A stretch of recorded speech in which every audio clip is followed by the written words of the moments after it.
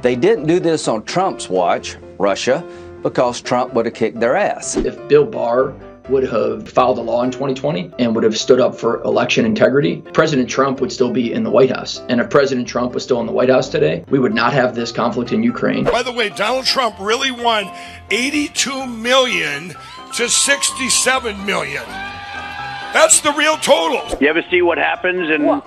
Los Angeles where hundreds and thousands of tons of uh, China garbage is floating. The tides bring it right. So we have nice, clean water. Wow. And you're not allowed to put your toe in the water, and yet you have 25,000 tons of garbage flowing in from China. Joe Biden is the Kurt Cobain of politics. He put a shotgun in the mouth of the American body politic, and the brains are on the wall. So it might be time for Joe Biden to let us know what Ketanji Brown Jackson's LSAT score was. Joe Biden found that standing for Ukraine was a really great applause line. So he just kept at it. When you say go get him, it's like a, an exit line.